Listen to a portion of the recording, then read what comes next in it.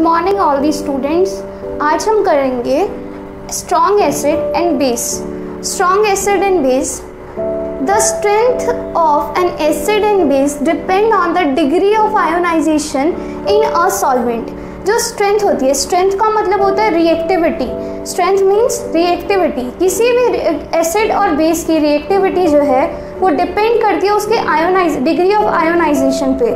Degree of ionization मतलब ions में टूटना. उस पर डिपेंड करती है। जब आयंस में टूटेंगे, तभी वो अपनी पावर को शो कर पाएँगे। Now what are strong acids and what are weak acids strong acid जैसे कि H C L H two S O four H N O three ये सब वो स्ट्रॉन्ग एसिड्स ये सब स्ट्रॉन्ग एसिड तभी है जब हम इन्हें एक्वा सॉल्यूशन के अंदर डिजॉल्व करेंगे। अगर ये हम यहाँ पर कोई ऑर्गेनिक सॉल्यूशन सॉल्वेंट ले लेंगे तब ये स्ट्रॉन्ग एसिड वीक एसिड में कन्वर्ट हो जाएँगे क्योंकि जब उस टाइम में H C L H two S O four H N O three जो है कंप्लीटली डिसोसिएट नहीं हो पाएगा प्रोटोन्स नहीं दे पाएँगे। Only aqua solution these acids only in aqua solution acids HCl, H2, H2SO4 and HNO3 are strong acid because it dissociate or ionize completely in an aqua solvent.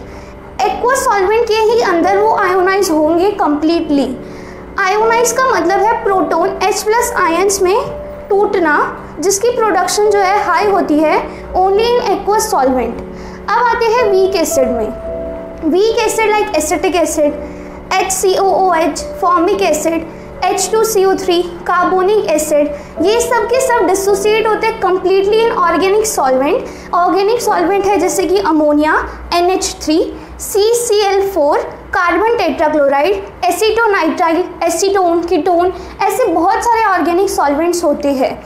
जब हम weak acids को इन acids को dissolve करते हैं organic solvent में तो ये भी कम्प्लीटली डिजोल्व हो जाते हैं आयोनाइज हो जाते हैं डिसोसिएट हो जाते हैं। इसका मतलब हुआ कि ये ऑर्गेनिक सॉल्वेंट में तो वर्क करेंगे स्ट्रॉन्ग एसिड की तरह, पर अगर हम इन्हें एक्वा सॉल्यूशन के अंदर डिजोल्व करेंगे तो ये हम तो ये कम्प्लीटली डिसोसिएट नहीं हो पाएँगे, इसीलिए हमने इसे वीक एसिड का नाम दिया है। तो ये हो गए कॉन्सेप्ट स्ट्रॉन्ग एसिड और वीक एसिड का।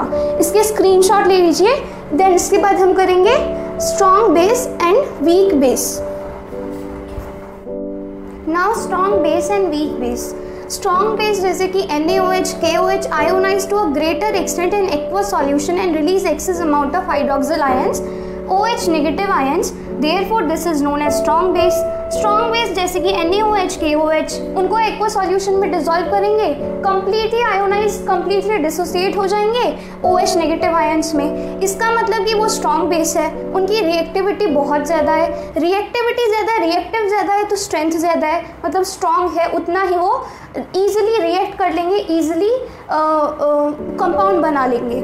Now comes to weak base weak base जैसे कि calcium hydroxide N H four O H ammonium hydroxide ये सब क्या है? स्मॉल एक्सटेंट में आयोनाइज होते हैं एक्वा सॉल्यूशन के अंदर। अगर मान लीजिए यहाँ पर ऑर्गेनिक सॉल्वेंट होगा, इसका मतलब क्या हुआ?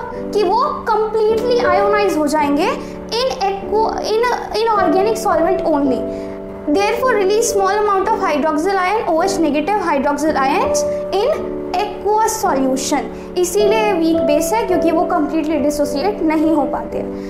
वन मोर पॉइंट कि स्ट्रेंथ का मतलब है रिएक्टिविटी जो रिएक्टिविटी है एसिड और बेस की, वो है function of its strength the reactivity of an acid and base is a function of its strength जितना रिएक्टिव उतना उसकी ताकत, उतना उसका स्ट्रेंथ जो है, वो बहुत ज़्यादा है। तो ये एक पॉइंट है। सो ये स्ट्रॉन्ग बेस वीक बेस ख़त्म हो गया है। All the best thank you